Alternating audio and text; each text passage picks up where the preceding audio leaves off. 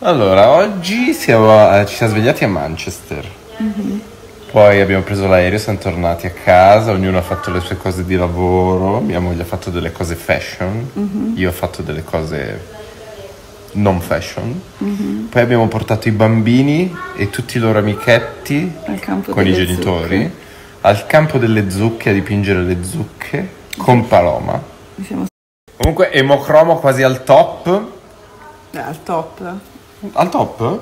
No, no, non così al top, devi arrivare alle 14. Beh, mi Ah, mancano 12. solo a 12 hemoglobina, 12 al posto che 14. Beh, infatti vedi, c'ho già un colorito un po' meno cadaverico.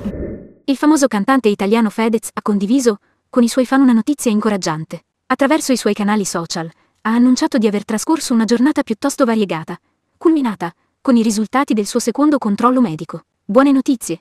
L'emoglobina sta lentamente risalendo e sembra essere in fase di stabilizzazione. Questa notizia ha sollevato un sospiro di sollievo tra i suoi sostenitori, che si preoccupavano per la sua salute. Fortunatamente, sembra che il cantante abbia superato con successo questa sfida e la sua famiglia può ora respirare più serenamente. Fedez è noto non solo per la sua musica, ma anche per la sua presenza sulle piattaforme digitali, dove condivide momenti della sua vita e del suo percorso di salute. I fan continueranno a seguirlo con affetto, augurandogli una pronta guarigione completa